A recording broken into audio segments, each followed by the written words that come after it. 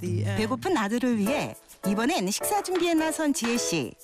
갱년기 다이어트의 핵심은 이 식단에 있다는데요. 특히 그녀가 즐겨 먹는 채소 중에 하나가 바로 양배추입니다. 제가 다이어트를 할 때 꼭 챙기는 게 장 건강인데요. 건강하게 다이어트를 하려면 장 건강부터 챙겨야겠다고 생각해서 저는 양배추를 자주 챙겨 먹고 있어요. 갱년기 다이어트에 성공한 지혜 씨의 두 번째 비결은 장 건강을 위한 식단. 오늘 그녀가 선택한 요리는 바로 닭가슴살, 두부, 양배추 롤인데요. 준비한 모든 속재료를 잘게 다져 간을 맞춘 뒤 삶은 양배추에 돌돌 말아주고요.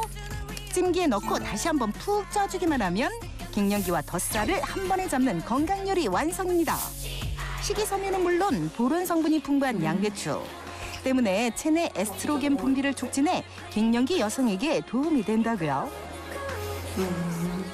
양배추 자체의 되게 달달한 맛과 그리고 다른 재료들과 잘 어우러져서 정말 매일 먹어도 질리지 않는 그런 영양 식단이라고 저는 생각해요.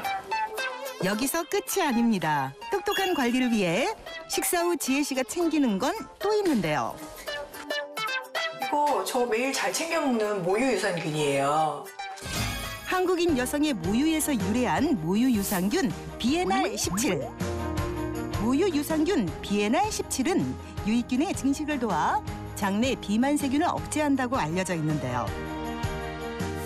장 건강과 갱년기에 도움이 되는 성분들을 모두 음식으로 섭취하기는 좀 힘들잖아요. 그런데 이 모유유산균 BNR17은 장 건강에도 좋고 다이어트와 갱년기 개선에도 정말 좋다고 해서 저는 매일 챙겨 먹고 있어요.